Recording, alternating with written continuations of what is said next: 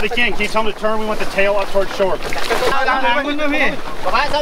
Just got lucky that they caught a giant freshwater stingray today. And guys were here, obviously have all their tagging equipment so they can come out here and tag it.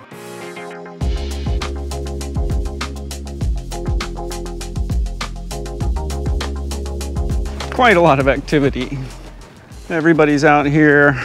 All the science people are happy from IFREDI and Wonders of the Mekong and YEA Young Eco Ambassadors.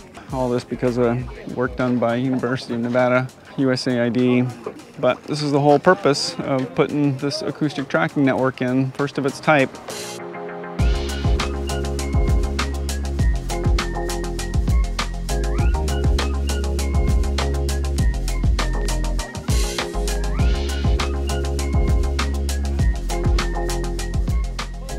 And guys were here, obviously have all their tagging equipment so they can come out here and tag it.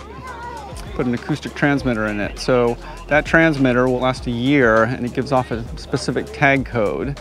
Um, and the receivers that are up and down the river are listening for that tag. If it passes those acoustic receivers that are listening for it, um, it'll get recorded. We'll know the date and the time that the fish swims past.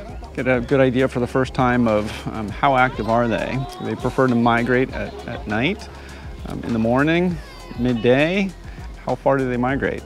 Do they migrate, you know, short distances, miles, or do they migrate, you know, tens or perhaps hundreds of miles?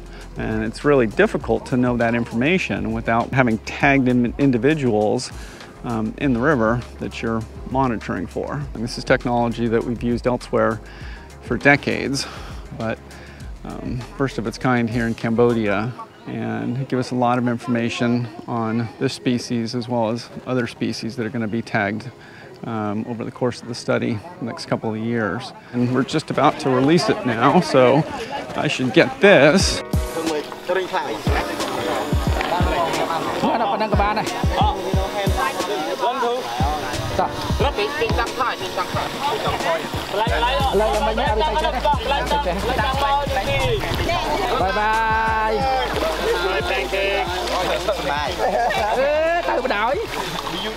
So that's what we've been doing. Perfect time of night to get out here and tag that fish just because it's gorgeous.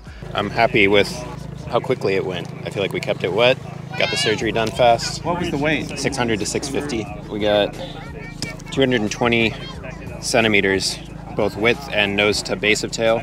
And then with the tail, it was uh, almost 400 centimeters, almost four meters long, about over 12 feet. Biggest fish I've ever seen in the wild, by far. A little bit about the purpose of the study.